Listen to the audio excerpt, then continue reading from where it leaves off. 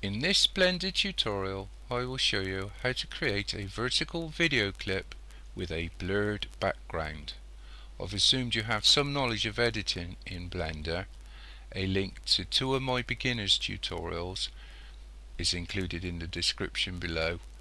One for version 2.8 which is the version I shall be using for this tutorial and another for older versions of Blender.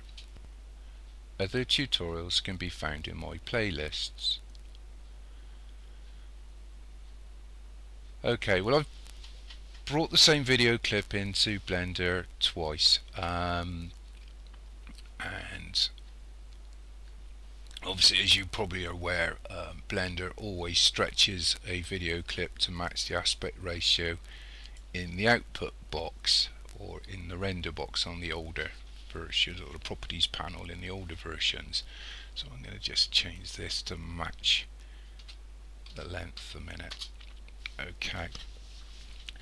Which is a good thing from point of view of stretching out the video clip because believe it or not this is actually a vertical video clip.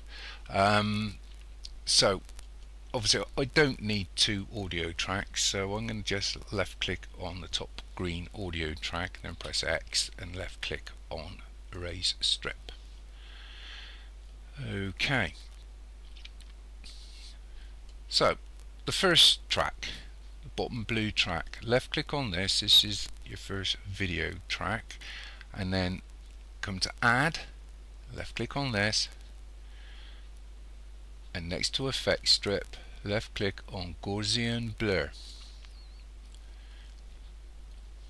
Now in the effect strip box you'll see a couple of size sizes.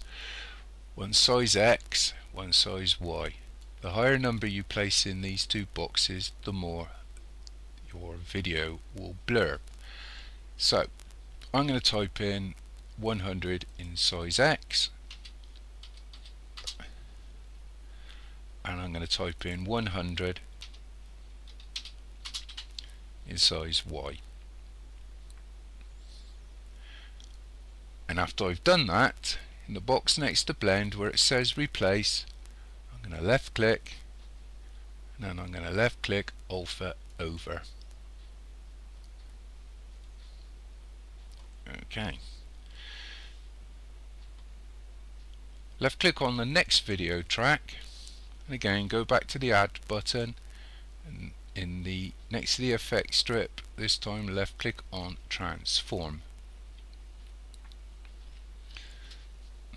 again under the effect strip look for something under scale that says X1 and you're going to have to reduce this.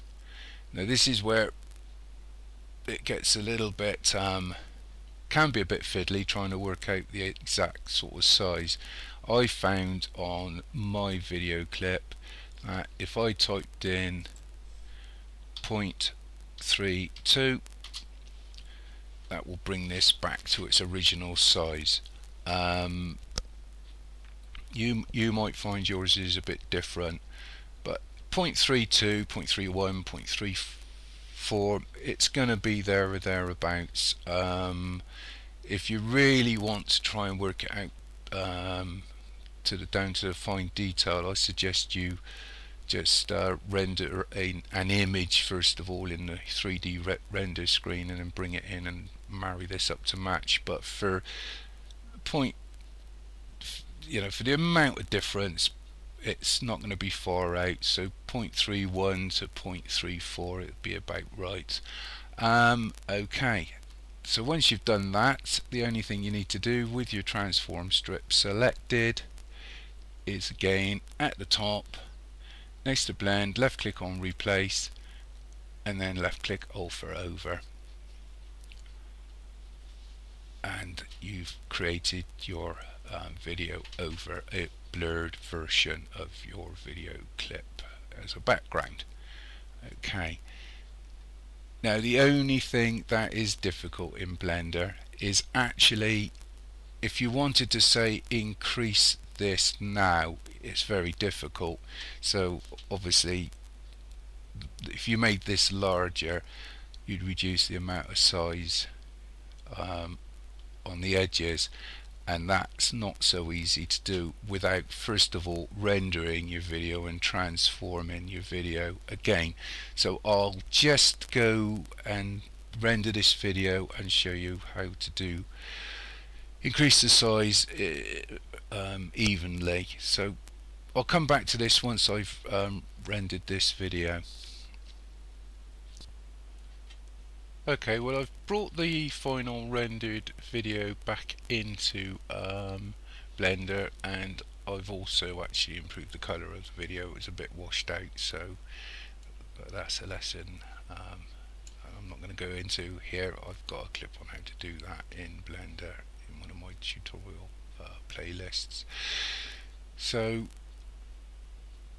as I said before, you you can't there is a bit limited blender when it comes to sort of changing sizes in the video editor. So the only thing that you can do now to sort of reduce the size of the um, edges if you like is select your video clip and then go back into add box and then next to effect strip put another transform strip in and this time in the effect strip box. Just left click in the uniform scale box and this will bring up your um, one scale. Now you can sort of increase the size by left clicking on the left arrow till you're happy.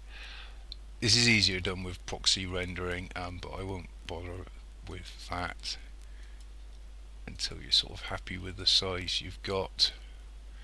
Keep going until you've got the right sort of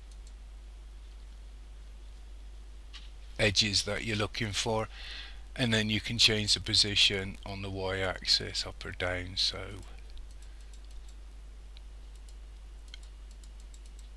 can take a bit of playing around with just drag it down very carefully, slowly, a little bit at a time, or go the other direction. Make sure you're in the Y position box.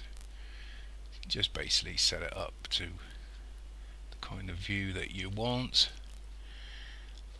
Once you're happy with that, um, you have to go ahead and re-render again. It's probably not the best way to do this using Blender. Um, I would probably, if I had to do a lot of these, use something like Kdenlive. But um, if you fancy having a go in Blender, that's one of the ways you can do this. Um, hopefully that will help somebody. Thank you for watching. Cheers.